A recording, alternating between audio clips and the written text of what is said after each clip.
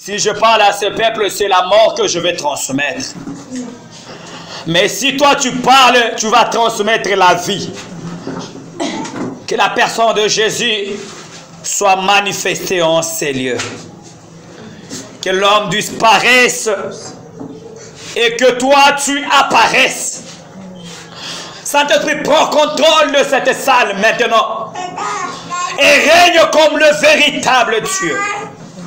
Que tout ce qui n'est pas de toi, que toute interférence, que tout ce qui est des divagations des pensées, je le rends innocent de faire cela au nom de Jésus. Je ramène tout pensée captif à l'obéissance du Saint-Esprit. Au nom de Jésus. Que toute incrédulité soit brisée. Au nom de Jésus-Christ. Laisse que ton feu s'allume en ces lieux. Que les œuvres des ténèbres soient consumées. Au nom de Jésus-Christ. Nous élevons la croix sainte de Golgotha comme signe de victoire. Et nous t'acclamons le Dieu véritable.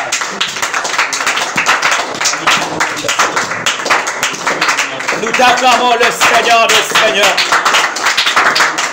Tu es le Dieu vivant. Alléluia. Alléluia. Je veux que tu salues ton voisin. Dis à ton voisin que Dieu te bénisse. Dis-lui que Dieu te bénisse. Dis-lui que Dieu te fortifie. Dis-lui que Dieu change ton histoire. Non, bien aimé, j'aimerais que tu salues ton voisin. Dis que Dieu change ton histoire. Non, dis-lui que Dieu change ton histoire. Dis-lui que Dieu change ton histoire. Alléluia. Ce matin, nous sommes dans la joie, dans la présence du grand roi, Jésus de Nazareth. Je souhaite tout le monde, soyez les bienvenus à la Chambre internationale. Alléluia. Avant de nous asseoir, nous allons lire la parole de Dieu et nous allons partager un thème qui va nous conduire à la prière. Le thème que nous allons partager aujourd'hui, je l'ai intitulé Répondez-vous. masumu Répondez-vous. Alléluia. Nous allons lire la parole de Dieu dans le livre de Matthieu. Matthieu 4, le verset 17, je lis au nom de Jésus-Christ. Dès ce moment, Jésus commençait à prêcher et à dire, Répondez-vous, car le royaume de Dieu est proche. Je continue 18. Comme il marchait le long de la mer de Galilée, il, il vit des hommes frères. Simon appelé Pierre et André son frère, qui jetaient un filet dans la mer, car ils étaient pécheurs, parole du Seigneur. Alléluia. Assieds-toi, s'il te plaît. Alléluia. Le thème que nous allons partager ce matin, je l'ai intitulé Répondez-vous. Bien-aimé dans le Seigneur, tu dois savoir une chose. Entre Dieu et toi, c'est le péché. Il n'y a que le péché qui empêche Dieu d'agir dans ta vie. L'église n'a jamais sauvé une personne. L'église ne te sauvera pas. Tu peux aller à l'église, mais tu vis dans le vol. Tu peux aller à l'église, mais tu vis dans ya ekobo Tu peux aller à l'église, mais tu vis dans le vol. Tu peux aller à l'église, mais tu es tenté de tuer. Tu es tenté d'avorter. Mais bien aimé, bien aimé tu peux aller à l'église et finir en okokende enfer. na eklezia Mais une chose qui t'amènera à Jésus, ya c'est la sanctification. sanctification. Eza kobanga nzambe. Alléluia. La sanctification aujourd'hui beaucoup de gens ont perdu la sanctification. L'église d'aujourd'hui a un problème. Les gens viennent à l'église. Mais dans l'impudicité. Les gens viennent à l'église. mais dans le vol. Les gens viennent à l'église. dans la masturbation. Les gens viennent à l'église. En train de prendre de l'alcool les gens viennent à l'église. dans le ténèbre. Mais bien aimé, moi je connais Il y a un jour, la. Bible dit, Dieu a créé l'homme. Il a placé dans le jardin d'Éden.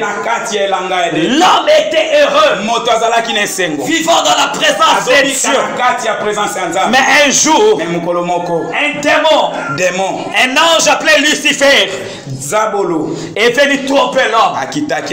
Pourquoi?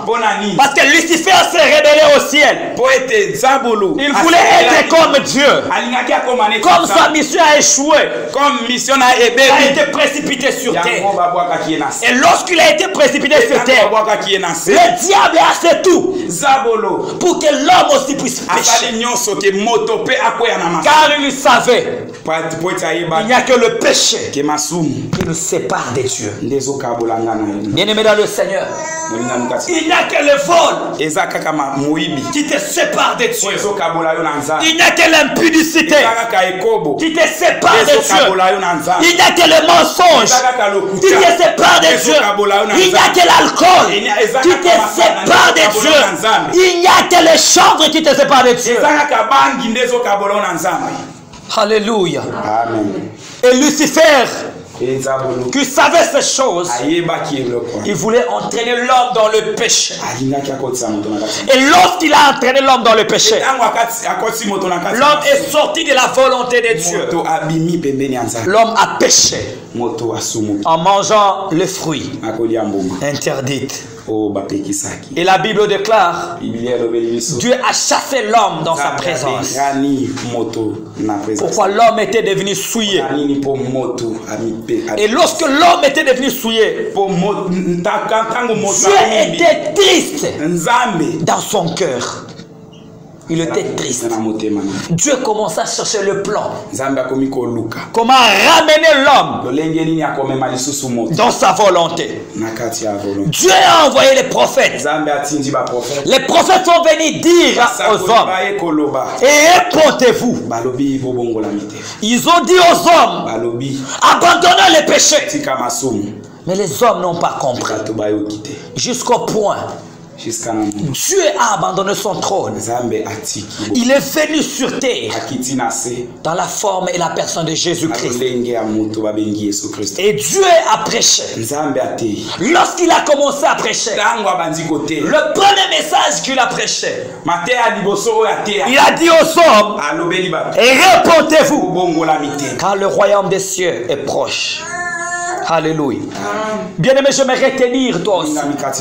Si tu vis dans l'impudicité, si tu vis dans le vol, si tu vis dans le mensonge, ce matin le Seigneur t'appelle à la repentance. Il t'appelle à abandonner otika masumu Il t'appelle à changer ta vie. Il t'appelle à changer ton caractère. Mes frères et sœurs, Jésus revient bientôt. Alléluia. Jésus revient bientôt. C'est quoi la repentance. La Bible dit dans le livre de Proverbes 28, na proverbe 28 les versets 12 à 13, verset 12 à 13 celui qui cache ses péchés. Masumu ne prospère point. Mais celui qui les avoue. Azoloba Et le délaisse. obtient miséricorde. Dans la repentance, il y a des choses. Il y a la confession. Et il y a l'abandon du péché. Alléluia. amen La confession, c'est quoi? C'est lorsque une personne regrette ses actes. Il déchire son cœur. Il dit Seigneur, pardonne-moi. Et cette confession peut se faire Dieu. nzambe na moto Tu peux aller voir les abbés. Tu peux aller voir les pasteurs. Mais si tu ne prends pas conscience d'abandonner le péché, tu ne changeras point. Alléluia. amen Les problèmes du péché, problème c'est toi et Dieu. C'est un problème de conscience. Si ce que tu fais, ozosala tu ne reconnais pas que c'est un péché, tu ne changeras pas. Alléluia. amen Jésus a dit, répondez-vous, car le royaume des cieux est proche. Bien-aimé, réponds-toi. Abandonne masumu Abandonne les vols. Abandonne le mensonge. Abandonne la pornographie. Abandonne, bien-aimé, les ténèbres. Abandonne la sorcellerie. Et Jésus changera ta vie. Je connais Jésus qui change Hallelujah. Amen. Lorsque tu prendras la décision d'abandonner les péchés, kotika mabe ce Dieu va entrer dans tes combats. Alléluia. Il n'y a que le péché qui nous détruise. Bien aimé, si ta vie est détruite, c'est à cause du péché. Si ta vie est détruite, c'est à cause de ton orgueil. Si ta vie est détruite, c'est à cause du vol en toi. Alléluia. amen Aujourd'hui, beaucoup de jeunes détruisent leur vie. Bien aimé, les péchés ont des conséquences graves. Même si tu ne vois pas aujourd'hui les conséquences de tes actes, baconséquence demain tu vivras les conséquences de tes actes. Alléluia. Tôt ou tard, tu vivras les conséquences du péché. Le péché dans la vie d'un homme détruise son âme, son corps et son esprit. Alléluia. Bien-aimé, aujourd'hui on prêche. tozoteya On te dit laisser le péché. Tu ne veux pas laisser le péché. Tu es en train de dire, bango. Bien-aimé, il y a un jour, tu chercheras cette parole. Ça sera trop tard. Ces jours-là, soit c'est la mort, soit c'est l'enlèvement. Alléluia. Devant la mort, même si tu es qui, ata oza tu ne te sauveras pas. La Bible déclare dans le livre des Ecclésiastes 8.8 na ecclésiaste L'homme n'est pas le maître de son souffle pour pouvoir le retenir. Il n'a même pas aucun pouvoir sur le jour de sa mort. Et la méchanceté ne saura sauver le méchant. C'est-à-dire qui que tu sois, voleur, impudique, menteur, cela ne te sauvera point. À quoi te sert? Gagner le monde entier et perdre ton âme. À quoi te sert? Gagner l'argent du monde entier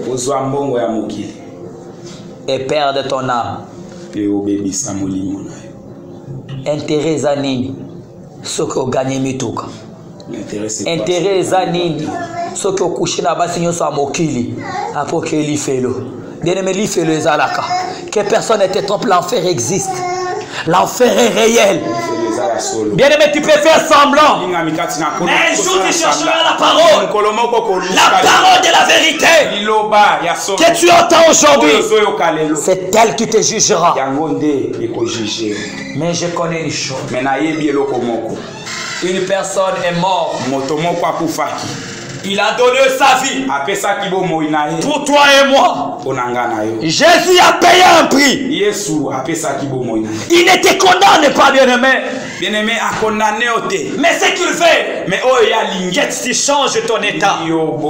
Que tu changes ta façon? Que tu abandonnes l'impudicité? Que tu abandonnes le mensonge? Que tu abandonnes le copinage? Que tu abandonnes le vol que tu abandonnes l'alcool. Que tu abandonnes bien-aimé d'être soigneur yotika Jésus veut changer ta vie. C'est pourquoi il est monté à la croix de Golgotha. il a payé un prix. La Bible déclare il a été torturé. il a été maltraité. Au-delà des limites insupportables. Jésus a payé un prix comment tu peux résister dans le péché? Jésus a fait ce que ton père n'a pas pu faire. Ton père ne peut jamais accepter de mourir pour toi. Ta mère ne peut jamais accepter de mourir pour toi. Mais Jésus est mort pour toi. Il est mort pour tes péchés. Alléluia. Amen. Moi, j'ai toujours dit une chose. Jésus n'est pas un Dieu de te Si tu es saint, ne viens pas en ces lieux. Ici, c'est une assemblée de pécheurs. Parce que Jésus est mort pour les péchés. Il est mort pour les voleurs. Il est mort pour les ya Il est mort pour les gens impossibles. Venez à lui, il changera vos vies. akobi- Venez à lui, il vous délivrera. oya Il vous délivrera. Il vous délivrera. Alléluia. Dieu Tout-Puissant, quand mon cœur considère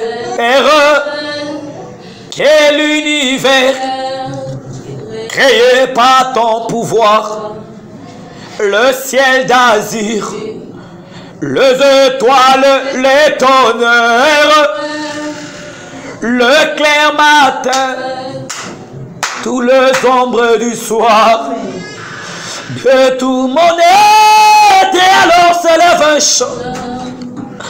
Dieu Tout-Puissant, que tu es bon? Écoutez, tu as longtemps demeuré dans le péché.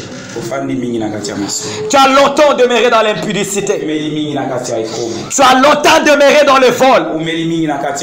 Tu as longtemps demeuré dans l'hypocrisie. On sait que toi tu pries, mais tu sais ce que toi tu es en train de faire. Tu as assez demeuré dans la masturbation. Tu as assez demeuré dans la cupidité, dans le vol. Mais ce que je te dis, Jésus me dit de te dire, si tu changes ta manière d'être, tu acceptes Jésus dans ta vie. Comme Seigneur et Sauveur, tu prends la décision d'abandonner le péché. Jésus changera ta vie. Il changera ton histoire. Il changera ta bomoi Que le Seigneur